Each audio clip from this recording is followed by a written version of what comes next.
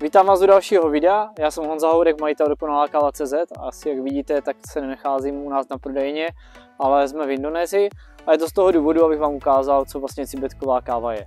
Cibetková káva je jedna z nejdražších káv na světě.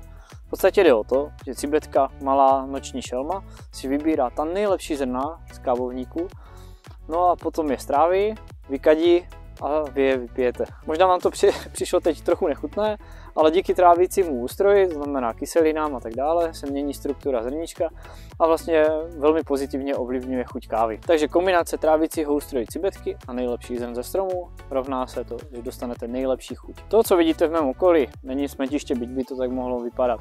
Je tu bambusový les. No a kromě bambusu je tady všude v okolí e, různé ovoce. Papája, mango, avokádo a tak dále. No a samozřejmě taky kávovník. No a cibetka se živí velmi ráda vším možným, to znamená mango, opravdu a papája a nejlepší zrna kávovníků.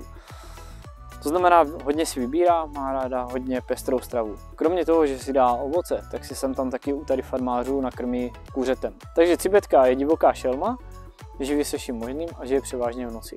No a farmáři po ránu sbírají její trus, aby z toho následně zpracovali kávu. Posem by to byl krásný příběh o skvělé kávě, o skvělé chuti. Problém spočívá v tom, že taková káva by měla mít certifikát White Blood Coffee a stála by vás násobky tisíc korun. No jo, jenomže samozřejmě je to biznis, stejně tak jako každý jiný.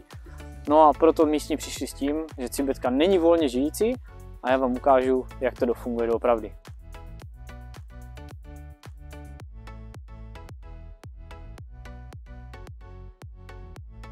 Tak jsme se přesunuli o 1000 metrů e, níže, e, jsme na kávové plantáži z Kopy a tady taky pěstují arabiku a robustu, ale jak na první pohled můžete vidět, tak o kvalitu kávy tady úplně nejde.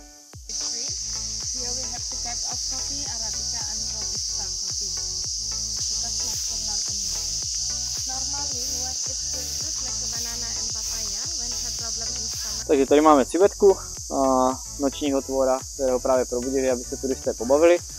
A s tím, že jestli v Evropské unii řešíme klecových slepic, tak tady je to bohužel naprostý standard. The normal water, we dry after we dry process. Here we process by hand, see.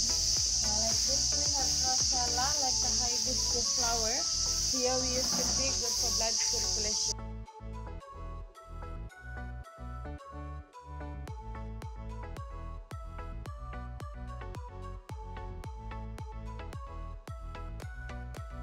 No a tady na Bali tady těch turistických atrakcí v podobě kopilu Vak Farem je toho strašně moc.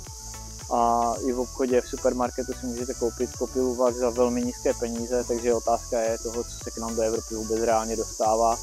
A to je přesně ten důvod, proč si bezkovou kávu my nikdy prodávat nebudeme.